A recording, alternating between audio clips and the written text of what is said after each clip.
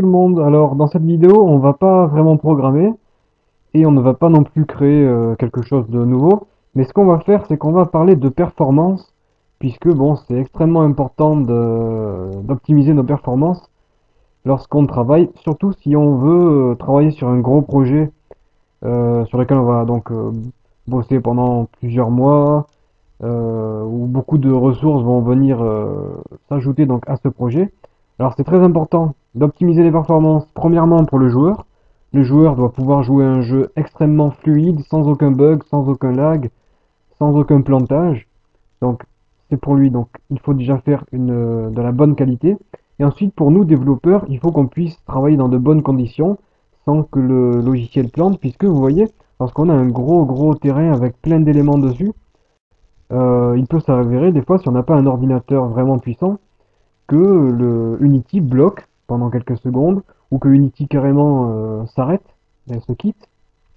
Si, euh, si c'est trop, s'il y a trop d'éléments pour lui et que ça prend trop de temps au processeur de, comment dire, de, de, réfléchir, de calculer chaque élément, donc on doit pouvoir travailler dans de bonnes conditions.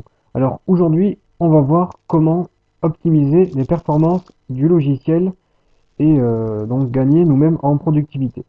Premièrement, on a un terrain ici, sur lequel il y a plein d'arbres, de l'herbe, des, décorations, des détails, des textures, etc. Ce qu'on va faire, c'est qu'on va optimiser les performances pour nous en euh, masquant des éléments qui sont sur le terrain. Alors on clique sur notre terrain, n'importe où. Là, à droite, on a notre euh, éditeur de terrain qui s'affiche. Et on a l'onglet Setting ici, on clique dessus et là nous avons des options pour notre terrain. Alors on a la première variable, les erreurs tolérées. Donc nous on peut tolérer par exemple 10 pixels d'erreur. Donc au plus on tolère des pixels d'erreur, au moins l'ordinateur aura besoin de faire des, euh, calculs. Alors bien sûr il ne faut pas mettre une valeur trop élevée, sinon après euh, on n'obtient plus du tout ce qu'on avait au départ.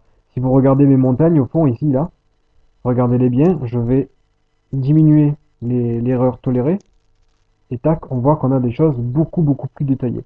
Donc nous, on va se contenter de mettre 10 pixels d'erreur. Alors euh, bon, on peut mettre même 8. C'est ça allège déjà un peu le processeur. Donc en fait, ce qu'on va faire, ça va pas changer grand chose aux performances. Mais on va faire tellement de petites choses qui améliorent les performances qu'à la fin, il y aura beaucoup de, choses qui, On a en deuxième, euh, donc ici la deuxième option possible, c'est la base map distance.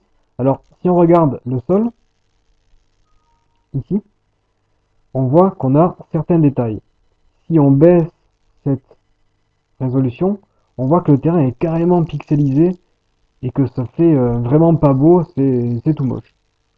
Donc on regarde bien la route, regardez la différence qu'on a entre 0 et 2000, donc là on a vraiment tous les détails du terrain, chaque, euh, chaque détail comme euh, les petits vous voyez les petits points noirs sur le terrain, on a les détails et si on passe à 0, on n'a plus aucun détail. Ça lisse carrément notre texture. Alors bien sûr, nous on ne veut pas quelque chose de, de tout moche, mais on va pas mettre quelque chose de super beau pour nous, on peut passer par exemple en 750. Donc on a quand même quelques détails sans euh, avoir la, perfection maximale. Mais euh, ce n'est pas grave puisque là c'est juste pour nous en fait. C'est juste pour alléger donc le, travail que l'ordinateur aura à faire pendant l'édition du jeu. Mais lorsqu'on compilera le jeu pour le, distribuer euh, à, ce que vous voulez en fait, la résolution sera, sera bonne. Là, c'est juste dans l'éditeur que l'on baisse la résolution. Ensuite, si vous voulez, vous pouvez décocher le Cast Shadow. C'est pour euh, annuler donc euh, les, ombres. Ça enlève complètement les ombres, donc du coup, ça fait gagner en performance. Vous avez, par exemple, ici, si vous regardez là où il y a mon curseur de la souris, vous avez un champ de blé. Enfin, c'est des autres verbes. Si on se recule un peu, on voit toujours ces plantes. Donc là, on a le détail distance qui est réglé à 250. Et si on passe à 0, on n'a plus aucune herbe visible. Donc, si on passe, si on règle ce paramètre à 0, on n'a plus aucune euh, herbe qui est visible sur notre éditeur. Donc ce n'est pas forcément terrible puisqu'on ne se rappelle plus où il y a l'herbe, etc. Donc là par exemple, chaque cercle rouge ici en fait représente des zones où mes ennemis peuvent euh, apparaître si le personnage est dans un cube. C'est un générateur d'ennemis. Et je mets ces générateurs d'ennemis sur les autres herbes. Mais là, comme je ne vois pas les autres herbes, ça peut me tromper.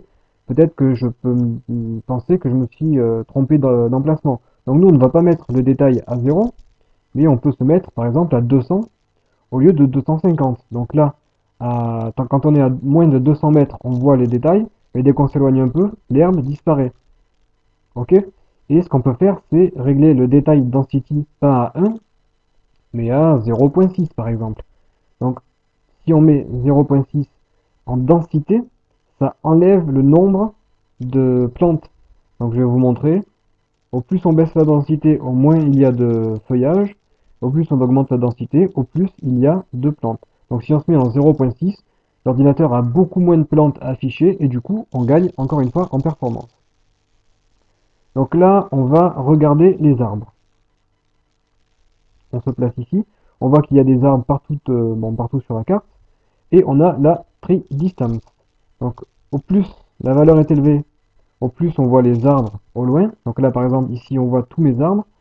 Et si je diminue cette valeur, tac, on voit que tous les arbres disparaissent petit à petit. Et là on ne voit carrément plus d'arbres.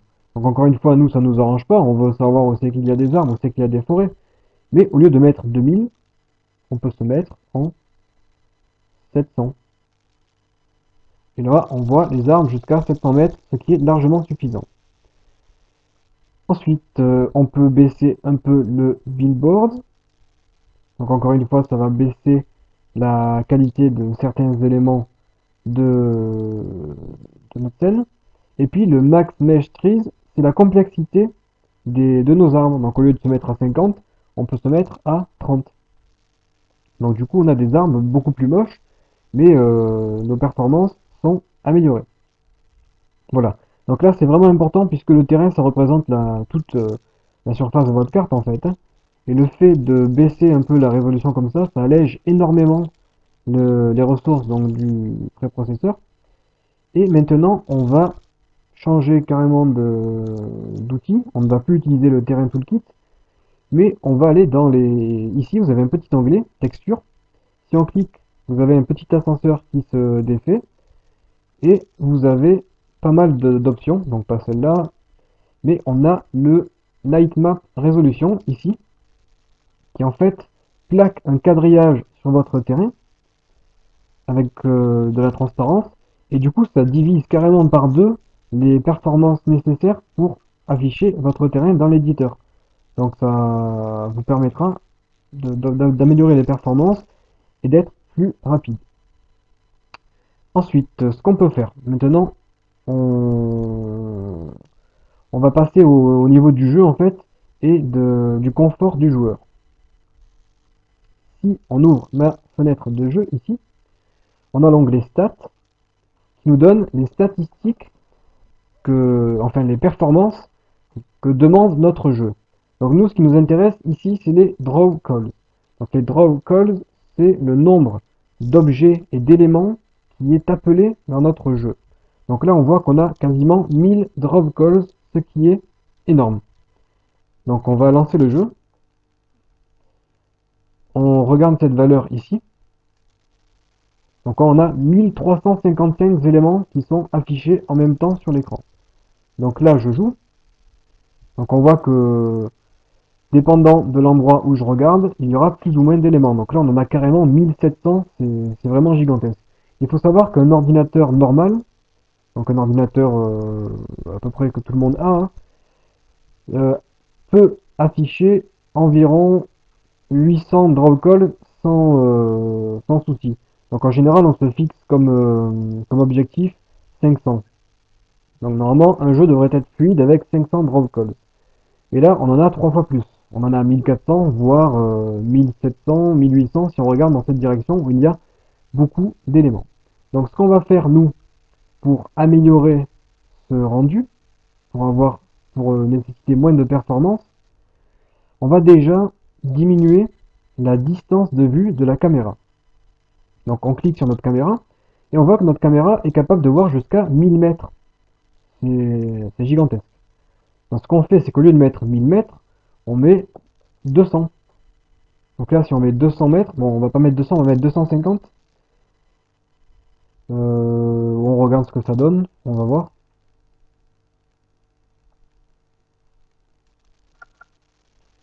Donc là, on regarde jusqu'à 250 mètres. Bon, ce n'est pas encore terrible, terrible. On va plutôt se mettre en 400. On lance le jeu. Voilà, donc 400 c'est déjà beaucoup mieux. Donc on voit 600 mètres moins loin que tout à l'heure. Et donc on voit qu'on a que 635 draw calls qui sont appelés. Donc si je me déplace, on va jusqu'à 700. On va pas vraiment plus haut que 700. Donc là on a 700, 600. Donc on voit que on utilise presque trois fois moins de draw calls que tout à l'heure. Et puis le jeu n'est pas euh, aussi, euh, aussi vilain que ça, puisque euh, on s'en fout un peu si on voit ou pas au loin de notre scène. Mais comme vous pouvez le voir, ce n'est pas super esthétique. Si on regarde, on voit que on a un petit, un petit, comment dire, un fond qui est jaune, qui correspond à la limite du champ de vision de la caméra. Et lorsqu'on le voit, ce n'est pas super beau puisque il y a des montagnes qui apparaissent, qui disparaissent. Je ne sais pas si vous voyez bien, mais on a certains éléments qui apparaissent et disparaissent. Donc on va essayer de corriger ça. Donc déjà, l'objectif de diminuer le nombre de drop calls est, euh, est atteint puisqu'on a diminué le nombre d'objets visibles par au moins 2. Donc ce qu'on va faire maintenant, c'est améliorer le rendu visuel pour que ce soit plus joli à voir. Donc on va cliquer sur Edit, Render Setting et nous avons le fog. Fog, ça veut dire brouillard. Donc nous allons ajouter du brouillard sur notre jeu afin que notre personnage ne voie pas ce qu'il y a derrière ce brouillard. Alors on va cliquer sur fog qui va ajouter le brouillard. Donc là, si on regarde dans ma scène, on voit que le brouillard a été ajouté. On le met en EXP2. Donc euh, ça permet d'avoir un brouillard qui est presque invisible lorsqu'on est à côté du joueur, mais extrêmement visible lorsqu'on est loin. Donc comme on peut le voir, on peut voir les éléments qui sont près de moi, mais on ne peut pas voir ce qui est loin de moi. On met la densité à 0,00 quelque chose, donc 5, euh, 9, comme vous voulez. Donc on peut se mettre en 0,06. Donc là, ça fera très bien l'affaire on met la, fin à 300 et en gris. Donc après, on laisse les autres paramètres par défaut. Nous, ce qu'on fait, c'est qu'on sélectionne la couleur de notre brouillard. vous, sélectionnez en général soit gris, soit une couleur qui, euh, va bien avec votre, votre jeu. Donc là, pour mon cas, le jaune un peu foncé va très bien. Et on va appuyer sur Play.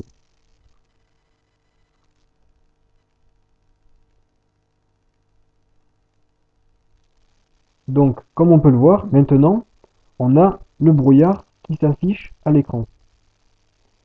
Alors, il n'y a plus le défaut de tout à l'heure, puisque tout à l'heure, on... il y avait un bug donc d'affichage, puisque on ne pouvait pas voir ce qui se passe après le champ de vision de la caméra.